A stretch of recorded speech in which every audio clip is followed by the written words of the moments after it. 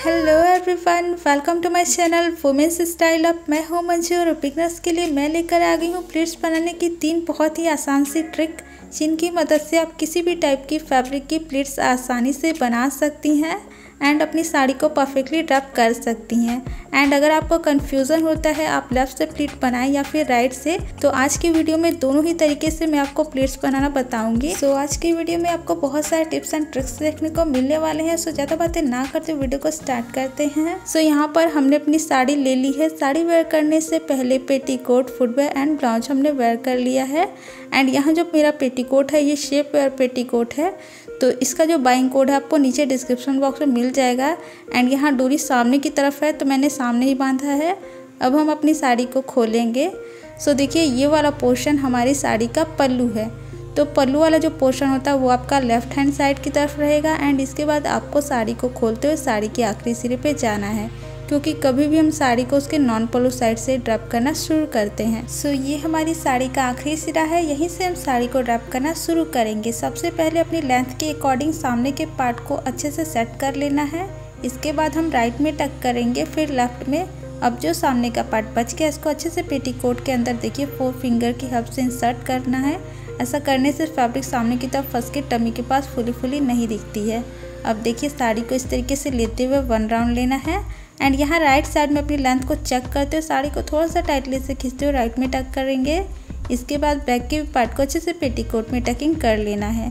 सो इस तरीके से हमारी फ़र्स्ट राउंड की बेसिक टकिंग कंप्लीट हो गई है।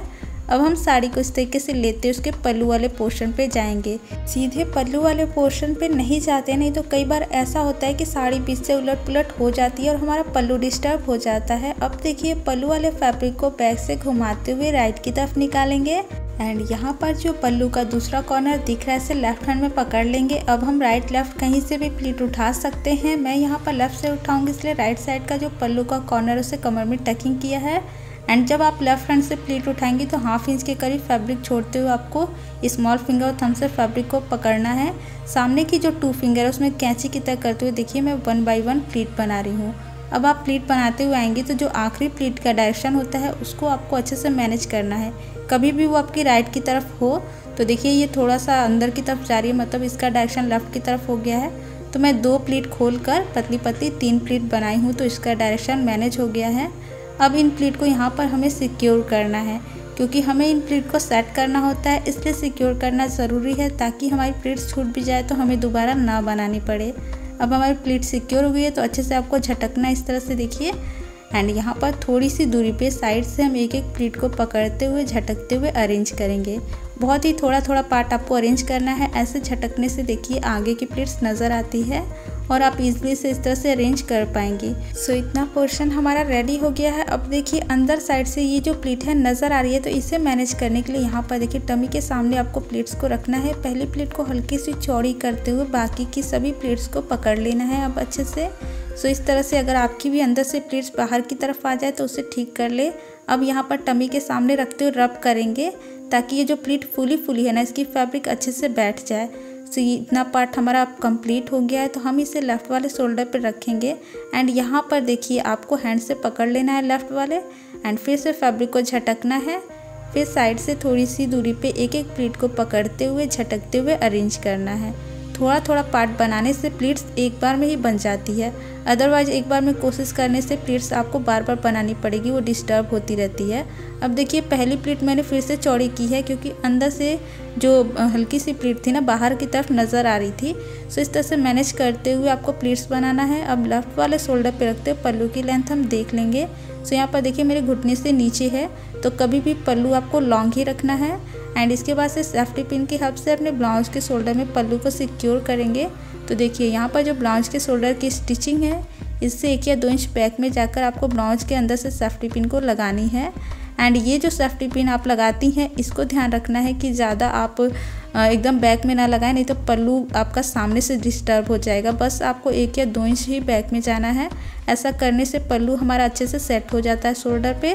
अब जो सामने की प्लेट है ना, एक बार आपको सामने तक इसे सेट कर लेना इस तरह से, ताकि बैक साइड में जब आप पल्लू को इस तरह से ले जाएँगे ना, देखिए पल्लू का अंदर वाला बॉर्डर बैक से घुमा रही हूँ मैं। तो यहाँ पर जब आप बस्ट एरिया पे सेट करती हैं, ये अच्छे से सेट होगी, और जितनी भी प्लीटें आ रही हैं ना, इनको आपको ठीक करना है, नहीं तो ये बैक साइड में जाकर एक्स्ट्रा आपकी जो फुली फुली हो जाती है ना, वही प्रॉब्लम आ जाएगी।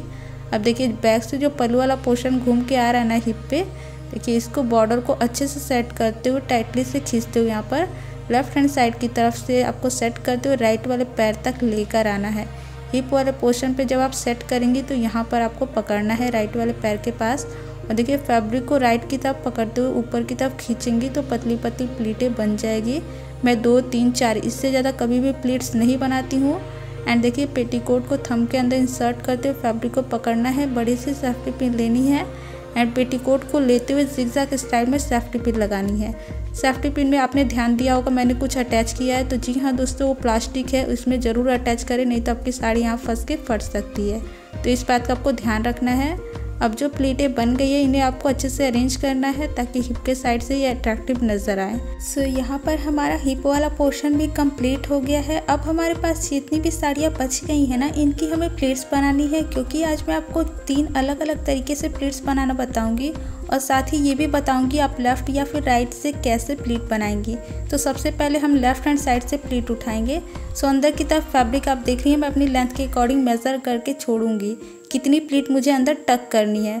फाइनली उसके आगे से हमें प्लीट उठानी है। तो देखिए स्मॉल फिंगर थम से फैब्रिक को पकड़ना है। इस तरह से देखिए, आप थ्री फिंगर का भी यूज़ कर सकती हैं और जो सामने की टू फिंगर बच जाती है, इसको कैंची की तरह करना है एंड उसमें फैब्रिक को फंसाते हुए वन बाय वन प्लीट बनाना है। सो ये सबसे सिंपल तरीका है। ये आपकी सभी टाइप की फैब्रिक पे काम करती है बट आपको थोड़ी सी प्रैक्टिस की भी ज़रूरत होती है। तो ये तो हो गया एक तरीका जिसमें आपकी प्लीट इस तरह से बनेगी। एंड अब हम अपना देख लेते हैं सेकंड तरीका। तो इसके लिए देखिए आपको थंब और उसके बगल वाली थ्री फिंगर से फैब्रिक को पकड़ना है। जो स्मॉल फिंगर अलग दिख रही है, इसमें फैब्रिक को फंसाते हुए वन बाई वन प्लीट बनाएँगे। अब अगर आप बिगनर हैं ना तो आपकी जो स्मॉल फिंगर होती है ना, वो जल्दी नहीं निकलेगी क्योंकि आपके हैंड बहुत ज़्यादा टाइट चलेंगे। तो इसके लिए आपको टमी का सहारा लेना है और देखिए राइट वाले हैंड से दबाते हुए स्मॉल फिंगर को निकालना है। अब इस ट्रिक से आपको प्लीट्स कब बनानी है? जब आपकी साड़ी काफ़ी ज़्यादा हैवी हो या फिर आपको चौड़ी चौड़ी प्लीट बनानी हो।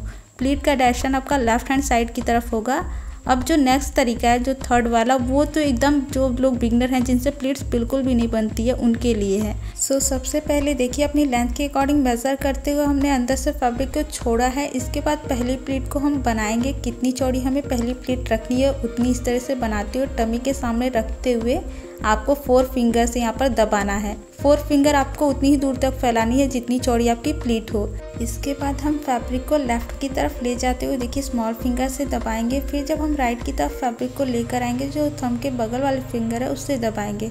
तो इस तरीके से जिगजैग करते हुए आपको फैब्रिक को घुमाते हुए प्लीट्स बनानी है। सो इस तरह से आप किसी भी टाइप की फैब्रिक की प्लीट आसानी से बना सकती हैं। अगर आपसे बिल्कुल भी प्लीट्स नहीं बनती है तो। सो ये तीन बहुत ही आसान तरीके थे जिससे आप प्लीट्स बना सकती हैं, किसी भी टाइप की फैब्रिक हो या फिर आपको बिल्कुल भी प्लीट्स बनानी ना आती हो। सो यहाँ पर आपको सभी साड़ियों की ऐसे ही प्लीट बना लेनी है। यहाँ पर अभी हमने देखा लेफ़्ट हैंड से हम कैसे प्लीट उठाएँगे।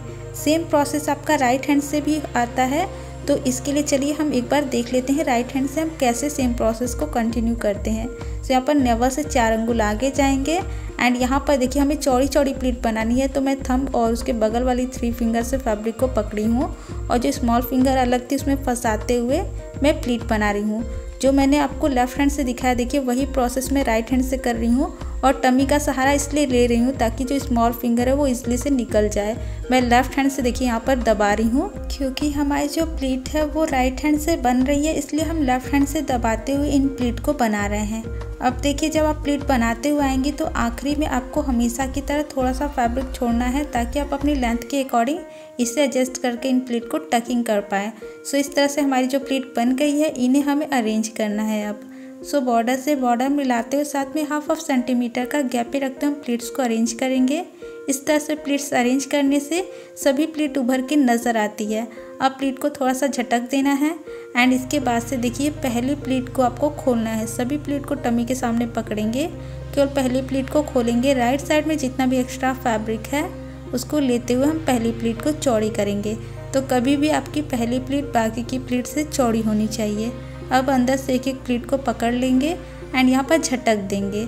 सो इस तरह से जब आप झटक देंगी तो आपकी प्लेट जो है ना एकदम नीचे तक देखिए खुल जाती है और आपको बस इसे थोड़ा सा सेट कर लेना है, फिर ये फुली फुली भी नहीं दिखती है। जो हमारी प्लेट बन गई है ना, इन्हें हम वन बाय वन अरेंज करके यहाँ पर सिक्योर करेंगे। सिक्योर करने से फ़ायदा ये होता है कि अगर आपकी प्लेट्स पे आपके पैर पड़ जाए तो निकलने की डर नहीं होती। यहाँ पर देखिए मैं साड़ी पिन के हब से सिक्योर की हूँ। आपके पास ना हो तो आप सेफ्टी पिन से भी सिक्योर कर सकती हैं। तो यहाँ पर देखिए थोड़ी सी दूरी पे साइड से हम वन बाय वन प्लेट को अरेंज करेंगे। एंड यहाँ पर देखिएगा एक चिमटी से जो कपड़े सुखाने वाली चिमटी है ना, उससे मैं सिक्योर कर रही हूँ। अब जो प्लेट फुली फुली है, इसे हैंड से प्रेस करेंगे ताकि अच्छे से बैठ जाए। इसके बाद हम नीचे की तरफ़ आएँगे एंड फिर से सेम प्रोसेस से एक एक प्लेट को पकड़ते हुए अरेंज करेंगे एंड यहाँ पर जो फ़र्स्ट साइड की तरफ़ हमारा प्लेट है ना, इसे हमें बहुत ही अच्छे से प्रेस करना है हैंड से ही प्रेस करेंगे। तो टाइटली से आपको दबाना है ताकि ये बिल्कुल अच्छे से बैठ जाए। ऐसा करने से आपकी प्लेट काफ़ी लंबे टाइम तक सेट रहती है। अब हम जो चिमटी लगाए थे उसे निकाल दिए हैं एंड नेवल के ठीक सामने रखते हुए मेज़र किए हमें कितना पार्ट अंदर टकिंग करना है। देखिए फैब्रिक जो अंदर बहुत ज़्यादा एक्स्ट्रा हो तो उसको आपको इस तरह से राइट की तरफ़ कर लेना है। इस फैब्रिक को हम बाद में मैनेज करेंगे। अभी हमारी जो प्लेट है, इन्हें हम नेवल के ठीक सामने रखते हुए अरेंज करेंगे। जितना पार्ट हमें टकिंग करना है, वहीं पर। तो देखिए, इस तरह से अरेंज हो जाने के बाद नेवल के ठीक सामने रखते हुए इन प्लीट को पेटीकोट के अंदर अब इंसर्ट कर लेंगे। इंसर्ट करने के बाद थोड़ा सा शेक करेंगे ताकि फैब्रिक अंदर तक चली जाए। अब देखिए हमारा हिप पे जो प्लीट है ना, इसे आपको ठीक कर लेना है और जो राइट साइड की तरफ़ एक्स्ट्रा फैब्रिक है, इसे थोड़ा सा खींचना है एंड इसके बाद ट्विस्ट करते हुए कमर में टकिंग कर लेना है। सो इससे हमारा जो हिप वाला पोर्शन है, वो और भी ज़्यादा फिटेड हो जाता है। अब जो ऊपर की ओपन लेयर है ना, उसे टक करते वक्त आपको देखिए सामने प्लेट को दबाकर पकड़ लेना अच्छे से, ताकि पहली प्लेट राइट की तरफ़ ना भागे। एंड इसके बाद राइट साइड का जो ओपन पार्ट है, उसे अच्छे से टकिंग कर लेना है। अब ये आपका पल्लू से कवर हो जाएगा। इसके बाद जो पल्लू की प्लेटें दिख रही हैं, आपको एक बार फिर से इन्हें ठीक कर लेना है। एंड यहाँ पर जो एक्स्ट्रा की हमने सेफ्टी पिन लगा रखी थी, इसे हम रिमूव कर लेंगे।